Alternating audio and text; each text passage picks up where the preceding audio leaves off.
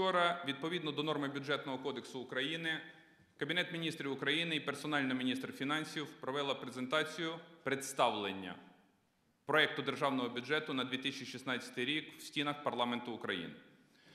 Відповідно до норми бюджетного кодексу, у тому випадку, якщо парламент не відхилив відповідний проект бюджету і не повернув його до уряду України, то це означає, що ми вступили в стадію формування державного бюджету на 2016 рік.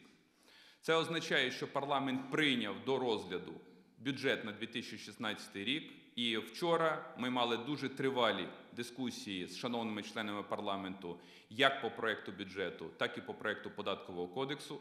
І я щиро сподіваюся, що та робоча група, яка була створена в стінах Верховної Ради України за участю міністра фінансів, мене особисто, голови парламенту, е, парламентських комітетів і членів фракцій, е, напрацює спільний узгоджений закон України про державний бюджет на наступний рік, і так само напрацює спільний узгоджений проект змін до податкового законодавства.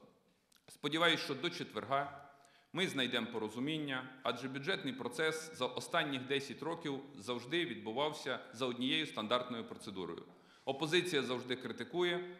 Так само у минулому році була м, е, доволі серйозне протистояння в стінах парламенту з приводу проекту бюджету, але в результаті цього законопроект був прийнятий.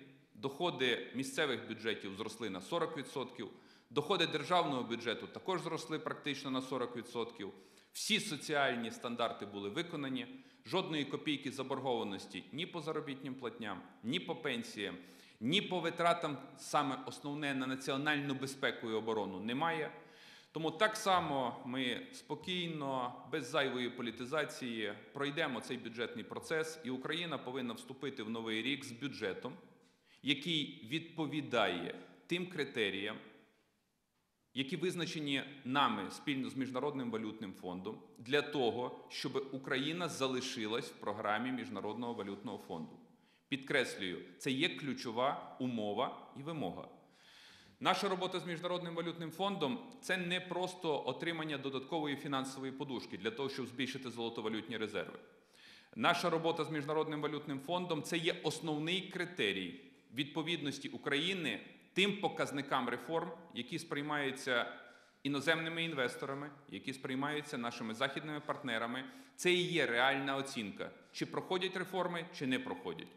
Два транші Міжнародного валютного фонду Україною отримані, і тільки тому вони були отримані, що всі ті кроки по реформам, які були прописані в нашій програмі дій Кабінету міністрів України і в нашій спільній програмі з Міжнародним валютним фондом, виконувалися. Тому нам треба далі рухатись цим шляхом. І я сподіваюся на розуміння членів парламентської коаліції в необхідності прийняття збалансованого і адекватного як державного бюджету, так і податкової реформи.